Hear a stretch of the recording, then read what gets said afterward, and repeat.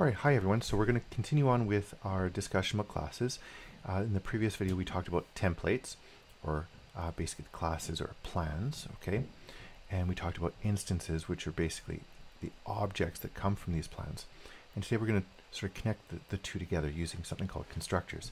And constructors basically are um, uh, instructions for how to make an object from a plan. And you can have in a particular class, you can have multiple constructors to say, you know, you want to construct the object this way, or you can construct the object a different way. Um, and, and, we'll talk about that. All right, so if you want to uh, read up a little bit more on classes and objects, the Java 8 Fundamentals book in the uh, YorkU library, here are the links, uh, have some has some really good information for you. All right, so defining constructors for creating objects. All right, so again, we are linking the plan okay, the class to the to the object, okay, and that that connection is the constructor. Okay, like the construction crew that takes your blueprint and creates the actual object from it. So defining constructors for creating objects within a, a class point, okay, so that's the plan, we define constructors. So we do this inside of the plan, specifying how instances, okay, or creations of the point template the point plan, the point class, right, may be created. Okay, and when we create, we create objects. All right, so here's an example right here. So we've got the, we'd be writing out what the, the class is. We call it public. We say it's a, it's a class. We say what the name of it is. We've got a curly brace there, and we've got a curly brace there. Now, inside of that, we have this thing right here. Okay, and this right here is the constructor and you can see that it, uh, it has the class name right there. It has sort of these input arguments to double precision floating, floating, floating point um, uh, input arguments new x and new y. And then when um, the, the object is created, it's created through this, and we'll be taking whatever that input argument new x is and new y is, and we're going to create x and y as uh, variables from them, okay, to be used within the class well, in fact, within the object that came from the class. All right. In the corresponding tester class, so we're going to show you another class. This would be like having the main class or something like that. Each call um, uh, to uh, to the the point constructor creates an instance of the point template. So basically, it's like doing a function function call. Okay, that's that's a yeah more or less what we're doing right here. All right. So we have this this sort of bigger class called point tester. And then within point tester, we have the main uh, method.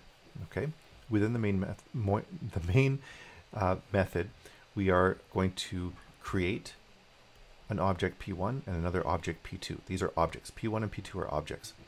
What are they defined as? They're of point type, okay, or type point right there. And then what you've got over here is basically the constructor. This is the constructor right here. All right, this is basically saying how that object is going to be created, and that object will be of type point. All right, and um, there we go. All right, here we go. So we can see that we have a constructor point right here. The input argument for x and the input argument for y are right there.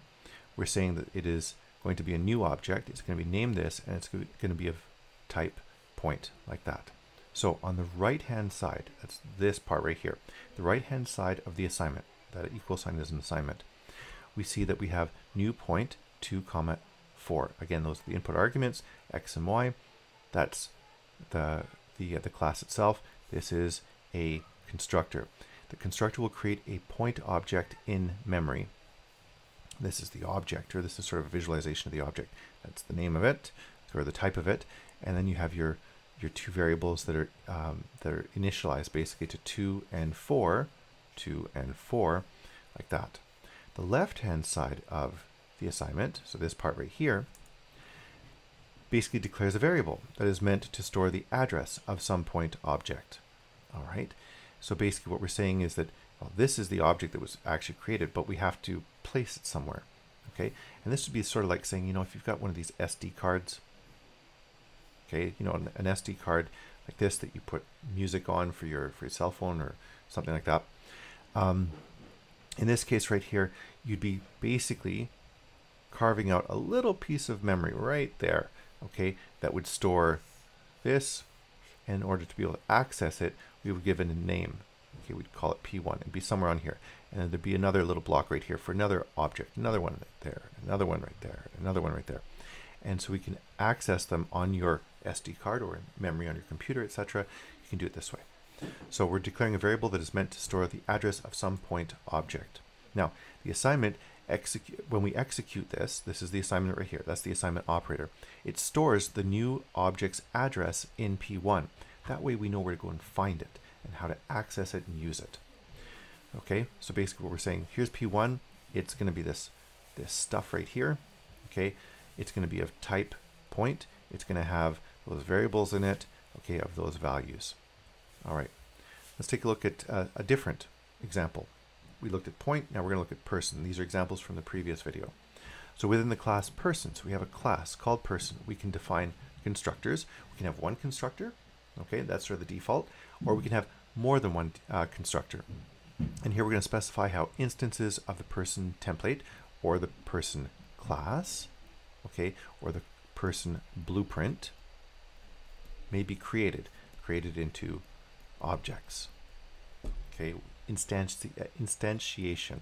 All right, so we have public class person. Right, we've seen how to set up class like this. We got a open curly brace and an ending curly brace. And we have a bunch of stuff inside of it, including this constructor right here. That's the constructor right here. We can have one, we can have many constructors, depending on what kind of person we want to create. So we have person, we say um, that has the, the person will have an age and the person will have a nationality. Now, clearly, you can create people with more than just those uh, characteristics, right? But in this case, we're going to make a really simple person. So the person has uh, an age that's assigned from the input argument new age and a nationality from the input argument nationality, a new nationality like that. So in the corresponding tester class, so we're going to have a another class that will call okay, or we'll create in instances of these objects. Each call to the person constructor creates an instance of the person template. So an instance will make it, so an instance of the person template means that we're going to be creating objects, okay, from the person class, okay, or the person plan. So here's that, that other class. This could be like a main class or some other class. We could, you know, call it all sorts of different things. And then inside of it, you've got your main uh, method. Okay, so the lowercase m is the main method. And inside of that, we can see that we have a, uh, a new object called Jim, and we have another new object called Jonathan. Okay, and they're going to be of type person. Each of these is going to be of type person. We're going to create them new. All right, and then right here, this is the the um, the constructor. This tells us how we're going to create each of those objects. So we're going to create Jim as a person, so of type person, and we're going to make sure that Jim has an age of 50 and his nationality of British. Over here, we're going to say that Jonathan is a new person and uh, is of age 60 and is of nationality Canadian. All right, so defining constructors for creating objects. So again, there's your type, there's the name of your object. We are calling the constructor right here, all right? And we're saying that the constructor is going to be using the class called person, and we're going to be giving these input arguments, and then the constructor sort of initializes the object Jim from that information. So on the right-hand side of the, so this part right here of the assignment, that's the assignment right there, we are going to create a new person object in memory. Okay, now our, um, our, our constructor doesn't say anything about weight and height. So basically, these would be initialized to zero, but it does say something about age and nationality. The left-hand side of the argument declares variables um, that, uh, that will store the address of the person object. Again, okay, so you've got this SD card like this. You might have point P1 over here and then over here you're going to have your person. Okay, so you got P1 and P2. Then you've got over here Jim and Jonathan. Okay, they're just stored in the card. They're made available as we need them.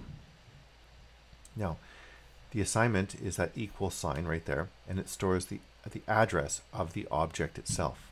All right. So this way we know how to access it.